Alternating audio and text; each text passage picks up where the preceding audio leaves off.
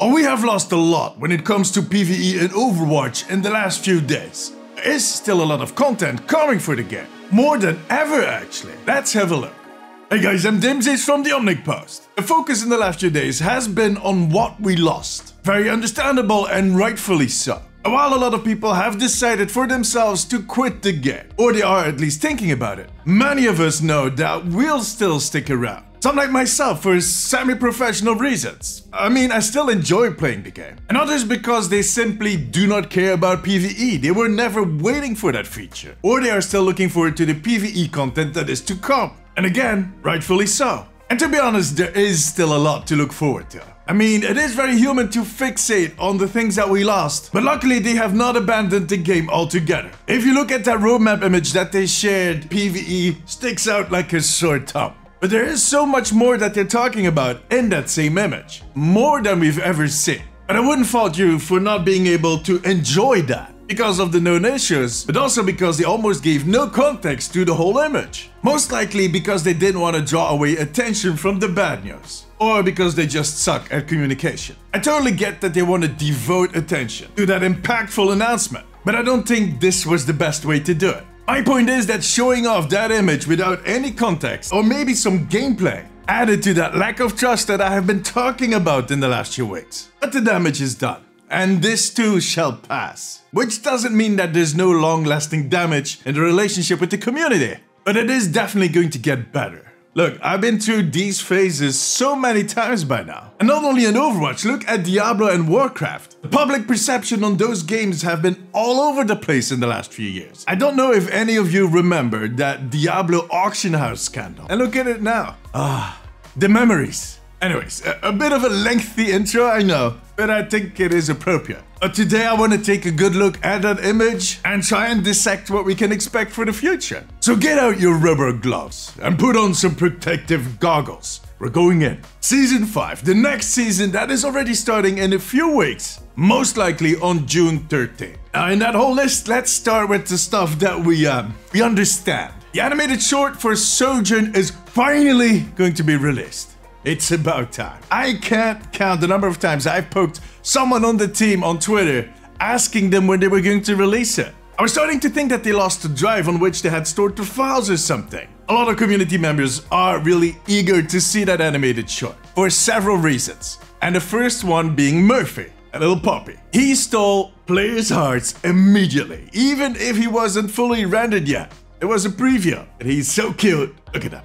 And second, because this animated short is going to set off the new story arc for Overwatch that we're going to play in those story missions in Season 6. I've said this several times in previous videos, but according to me, that animated short is basically what connects the trailer from back in 2019, where the team reunites, a demon invades their ranks, and they kick the ass of a huge Omnic robot in Paris. So Overwatch is back and they need a new leader. Jack Morrison, well, he's hunting down Gabriel Reyes with the help of Ana. So the next in line would be Sojourn. Uh, I don't see her cooperating immediately. I think she's kind of enjoying her life back home in Canada with her little puppy. But my prediction is that she won't see any other way. She'll realize that if she doesn't find Talon, Talon is going to find her. And look, if you think about it, there's no better team to have behind you than a talking gorilla, an ice spewing demon, and a tall German that is a walking encyclopedia of dad jokes. In game, we are going to see the return of the Summer Games. This is an Overwatch 1 event that makes a return after we replaced it with an anniversary remix last year. In case you don't know about the Summer Games if you're a new player, as the name suggests, it's kind of based on sports, summer sports, and a little bit of a beach team going on there too. Check out the Torbjorn skin and you get what I mean. So I expect to see more of these sporty or these beachy skins, like uh, Roadhog and Speedos for instance. Try getting that image out of your head. Good luck. By the way, he flosses, and I'm not talking about his teeth. yeah, I did it to myself. Usually this is the event where we get to play Lucio Ball, if you are into that kind of suffering, which is most likely going to be the case this time around. But they might add a variation of Lucio Ball in there, or this is uh, this is going to be my new thing from now on with everything Blizzard and Overwatch. Or they might add an, a new sports mode. My vote would be on Roadhog Volleyball. It's Speedo. Never mind. It just keeps getting worse. The on fire meter is returning. Again, for your new players, that on fire meter is basically an indication on how well you're doing in that match. And everybody can see it because your portrait will catch flames. It will kind of go whoop. Ooh, ooh. They removed this feature back when Overwatch 2 launched because they felt it was kind of used for toxic purposes. So I'm presuming that they kind of are doing something different with it. We'll see. Alright, that was the stuff we understood. Now we're going into I think it's that territory. Let's have a look. During the dev chat, Aaron and Jared had shared that they're kind of changing their approach when it comes to seasons. Now, what that means is currently not fully clear. But what they did say is that they're going to give every season a name. Like Mark or Julia. Not those types of names. For instance, if you look at that roadmap image, you could think that Season 5 is going to be called Mischief and Magic. And it will include a new limited time game mode called Quest Watch. They're they just going to add watch to everything now? Star Watch, Quest Watch? Overwatch. But anyways, it kind of sounds like a D&D version uh, uh, of Star Watch. And with D&D, I mean Dungeons and Dragons. So maybe this whole season is going to be Dungeons and Dragons themed. We'll see.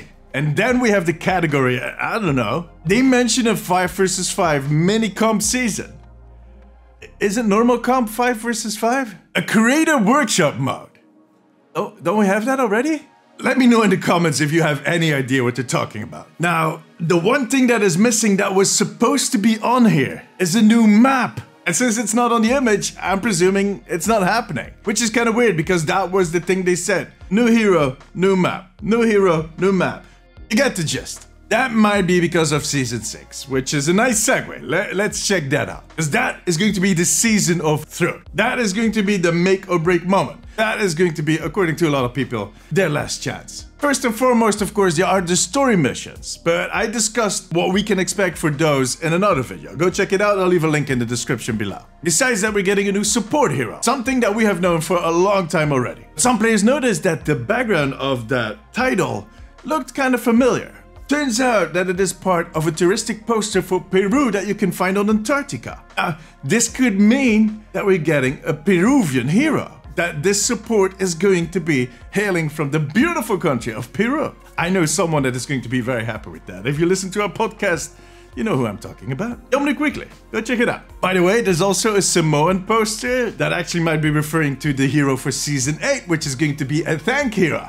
Mauga. What? Might the next support hero be a former colleague of Mei? And more importantly, are we getting an Inca themed support hero? That would be awesome. We could actually get that totem hero I talked about, I don't know, ages ago. But we'll have to wait till mid-August to know more, and um, I'm probably going to do a whole video about it, so make sure to subscribe. Something else we'll also have to wait for and I'm also going to do a video on is the new game mode that we're getting in Season 6, Flashpoint. And game mode is going to be released with two maps, which might be the reason that we're not getting a map in Season 5. Now judging by that image, one of them is going to be the India map. And the other one might be Gothenburg, but I'm not sure because I don't think Gothenburg is big enough. The thing is, some people in the team, including Aaron, had commented in the past that this new mode that they were really enthusiastic about, which uh, about a lot of stuff, is going to be played on some of the biggest maps we've ever seen in Overwatch. Now, the India map, uh, that looks really big. I mean, I'm not talking about the country. The country is big, but so is the map. It's big and beautiful. And what a lot of players think is that it's going to be like Call of Duty's domination, which actually might be true. It is a mode in Call of Duty where players need to keep hold of different points on the map, and the moment they capture the three of them, they win. I think it's going to be closer to Strongholds in Halo, where you need to capture and hold at least two spots to start earning points, and the first one to reach a certain threshold will win the game.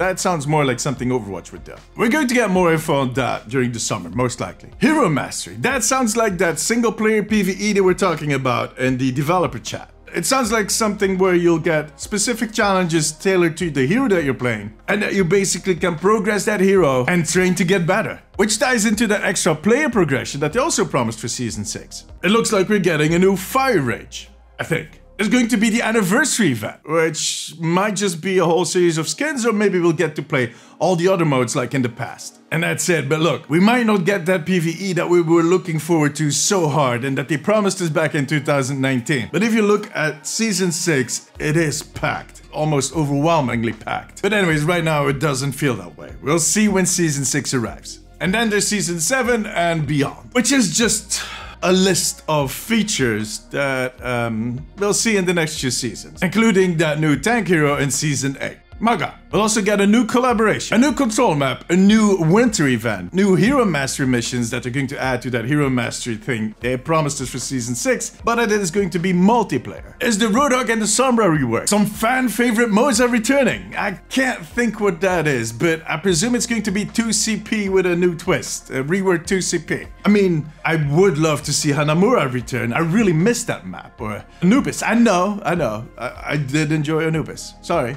Competitive mystery Heroes is returning. They're going to introduce a lore codex, which is basically a documentation of all the lore that you run into while doing your PvE story missions. It's all going to be filed and sorted for your pleasure. Now, the one thing that kind of worries me about that whole list for season 7 and beyond, but it might just be a technicality, just an oversight, is that they don't mention more story missions in there. So this could mean that they're not planning to release story missions every season or not even every two seasons. It might be every four seasons, for instance, which, uh, which would suck. Look, I have so many questions about all of this. But on the other hand, a ton of content is on its way, and especially in Season 6. Now, like I've said in every single video in the last week, we need to manage our expectations. Let's see how this all pans out. I think when it comes to disappointments, we're kind of done for the next few years. Now tell me, which of these features are you most excited about? Let me know in the comments. Join me during my streams on twitch.tv slash TV and make sure to subscribe. More updates on Overwatch.